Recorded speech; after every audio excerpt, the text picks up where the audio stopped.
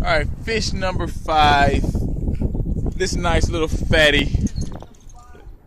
Look at uh my boy. He don't never catch fish, Mr. Reggie. Look at him. He put a weight on his crankbait.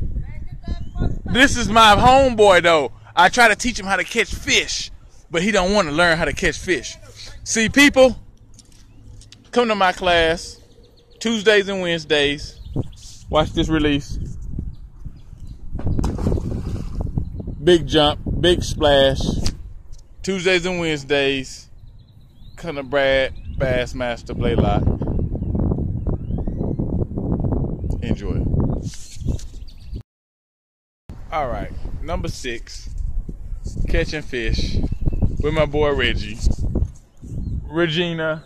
Get that shit back, man. He is not catching fish because he got a weight on his crankbait.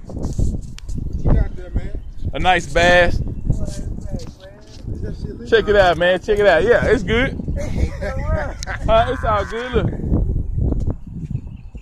You grab him, grab him by the mouth. No, no, no. You good? It's good eating right there, man. That's Yeah, good I eating. believe it. I believe I want to do it. Mmm, smell good. Hey, is that shit? I love fishing, I huh? come here again? Yeah, man, yeah. Do I need a license? Uh, okay. This is getting out of control. Oakland Lake is on fire. Okay, Reggie's not catching nothing. Okay, he still got the swivel on on the Texas rig. Listen to me, all my bass anglers, a swivel on the Texas rig.